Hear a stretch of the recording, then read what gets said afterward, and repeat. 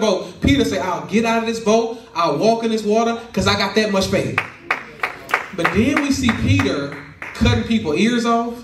We see Peter denying Christ. So the Bible is showing Peter good and bad to show you don't let your failures dictate what God can or can't do through your life.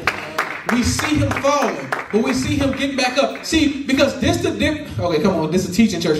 This is the difference between Peter and Judas. When Peter fell, he repented. When Judas fell, he killed himself. So what I'm saying is that they got two different outcomes because they responded to failure differently. So when you fall, the response is not God don't love me, I can't do it no more. You gotta say I failed, I'm not proud of it, but I'm getting back up again. Y'all with me? So Peter walks with Jesus. I like Peter. I like Peter. Peter, Peter had that thing to him. Peter got that attitude. Peter was that dude. Peter, Peter, Peter said, I'm cutting ears off. Peter said, Y'all touch Jesus, I'm killing you. He got his sword. Jesus say, the Bible says Jesus took the ear and put it back on the person. and he say, now Peter, because if you live by the sword, you go die by the. Yeah.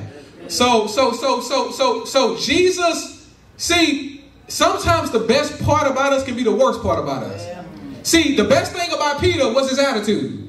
But the worst part about Peter was his attitude. Some of y'all best characteristics that you don't care what nobody think. And the worst thing about you, you don't care what nobody think. Think about this. Think about this. It's a cold-blooded story in the Bible where Jesus talks about this lady. Jesus was eating with his disciples at a table, and this lady took her hair, and she had long hair, and she took her hair, and she put perfume on her hair, and she starts wiping Jesus' feet with her hair. And the Bible says the people around him, the Pharisees, say, it don't take all that. It don't take all that. And Jesus in a cold-blooded parable, he said, Peter, come here. He said, you see this lady right here? He said, Peter, let me give you a story. He said, Jesus said, just say that, and I'm paraphrasing, just say that you owe a banker $5. And he forgive your loan. Okay, let me, let, me, let, me, let me put it out. Let's say President Biden say, going to forgive these student loans. Some more. And let's just say you owe $5,000. And you get your 5000 forgiven.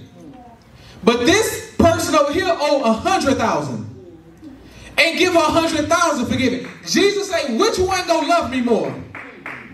See, some people can't praise God because you ain't been through nothing. I know you ain't never turned up, you ain't never got high, you ain't never got drunk, you ain't never you slept with your husband only, slept with your wife only, never have nasty thoughts, never said that you should. But if you ever made a mistake in your life and God has forgiven you, you ought to give him praise. See, some people can't praise God because they feel like they've been good to God. But the lady understood that God had been good to Ooh, you don't know what I've been through. You don't know my situation. My mama left me. My daddy went there. My aunt talked about my cousins. But God is holding me. They thought I wouldn't make it. They only follow me because I'm doing good now. But if you only knew the struggle, the bills I couldn't pay, when my kids was crying that night, God has been good to me. Ooh. I just look good. You don't think I've been through nothing. Do me a favor, look at your neighbor. Say, I don't look like what I've been through. Go ahead. I, ooh, I, I, I done been through some stuff you don't understand. I, Peter said, you don't understand what I've been through. I denied him and he kept me in the circle. When I walked away from him, he chased me down. I walked away and, and, and when I decided to get it right, he took me back. I, okay, okay, okay, okay, okay.